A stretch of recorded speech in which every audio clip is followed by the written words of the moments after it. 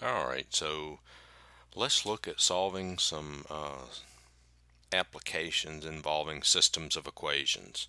Uh, this is the first example. Uh, let's see, it looks like I've got, right now I've got five examples I'm going to work. I'm, they're each going to have their own video, and I may do even more than that. So uh, this won't be the only video that has applications, so check them out. They should all be right there together. All right. So let's look at this. So we want to find the sum of two numbers is 2.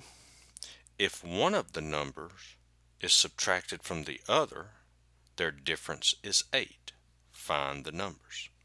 All right, so let's just, let's do this. Let's say, okay, uh, x is equal to, let's just call it one number just like they do in the problem, is one number, and we'll call y the other number. Okay, and that's what it says, from the other. Okay, if, if one number, which is x, is subtracted from the other number, we'll call that y. Alright, and if you wanted to, you could call x the first number, y the second number. It doesn't matter. Alright, so what does it say? It says the sum of these two numbers is 2. Okay, well let's write that down. So the sum of the two numbers, so x plus y, that means add the two, that would give me 2 as an answer. And then it says if one number is subtracted from the other, okay, so one number is subtracted from the other, so, I mean, there's, it doesn't really matter how you um, do this, I could write x minus y equals 8. Okay. But, you know, it does say if one number is subtracted from the other. So if you want to just really get technical about it, we can say this number is subtracted from this one. So that we would we could write um, this one number here is subtracted from this one so I would have y minus x okay?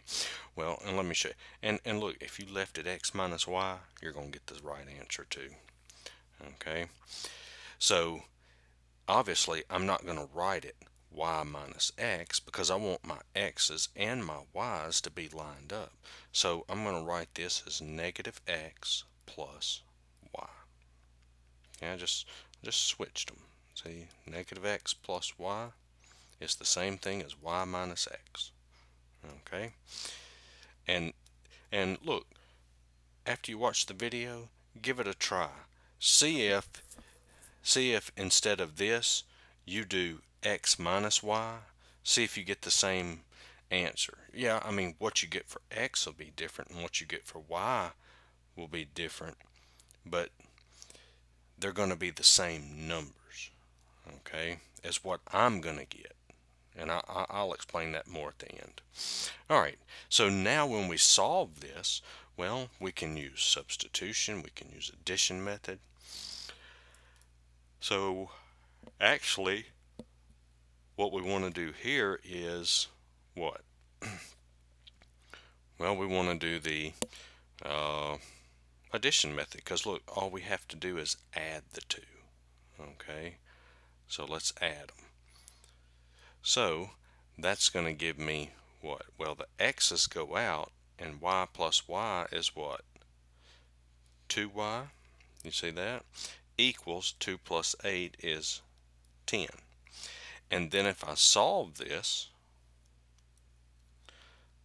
I'm going to divide each side by 2 and so I get y equals 5 okay. Now I need to know what x is. Well I'm just going to take this and plug it back into one of these equations. Well we'll just plug it into this one. So I've got x equals I'm sorry x plus y and y is 5 equals 2 and then I solve subtract 5 and so I get x equal negative 3. So the two numbers are negative 3 and 5. Okay, now, remember how I told you if you would have put x minus y,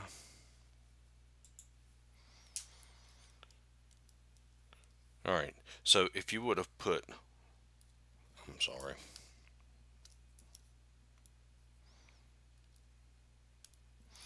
if you would have written this as x minus y, you would get the same answer, except for you would have gotten this to be x, and this would have been y. Okay? That's the only difference it would have made, but you would have gotten the correct numbers. I mean, look, if you have x plus y equals 2 and x minus y equals 8, look, 2x equals 10. See, instead of 2y equals 10, you got 2x equal 10. So it's the same thing. All right.